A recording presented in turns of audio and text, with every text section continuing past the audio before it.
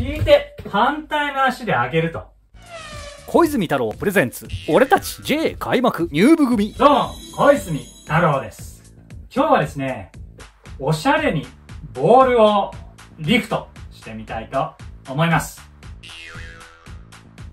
ボールをですね、リフトするときに最も基本的なリフト方法が利き足でボールを引いてボールをこう上げる。ね、これが最も基本的なボールリフト。これをですね、ちょっとおしゃれにしたいと思います。じゃあ早速いきます。引いて反対の足で上げると。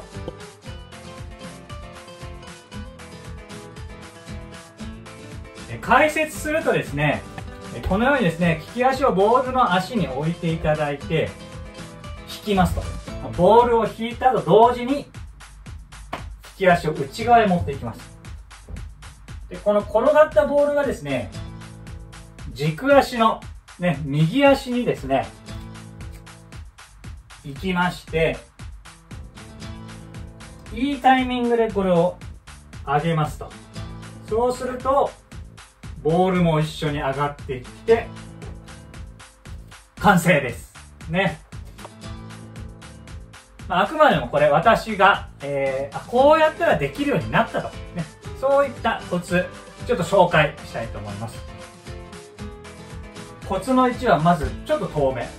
ボールをですね、ま、ちょっとこう離すんですね。こう、膝が曲がる曲がるぐらいの近くよりもですね、膝がちょっと伸びきるぐらい。で、この指のこの付け根の裏側でボールをタッチしますね。で、コツの2はですね、時のボール、どのように意識で引くかと言いますと、ちょっと外目に引くんですね。まっすぐ引くんじゃなくて、ちょっとこの外側、ね、外側を意識して引いていく。外側を意識して引く。そうするとですね、軸足の親指がですね、ちょうどボールの真ん中に引っかかるようになるんですね。ジャストミートした感じでですね、ふわっとね、上がってきます。足、ね、もう膝、膝伸ばしちゃいましょう。ね、コツ1は膝を伸ばすと。ね、そういった感じです。コツ2はボールを外側に転がすと。ね。この軸足で、ふわっとこう。ふわっと。これ今のは失敗でですね、ボールがですね、今外側じゃなくもうまっすぐ下がってきたので、この時はですね、大体できないですね。転がった瞬間に、あ、できないなって思う。と思います。なるべくこう外側を意識すると、こうなると。ね。でこれどんな時に使うといいかと言いますと、例えばもうみんなでこう集まって何か話をしている。ね。で話が一段落して、じゃあ練習再開しようかと。ね、そうなった時に何気なくこうやって行くと、あ、おしゃれなの持ってんな、あいつって。ね。一瞬思われます。まあ、その後の練習にですね、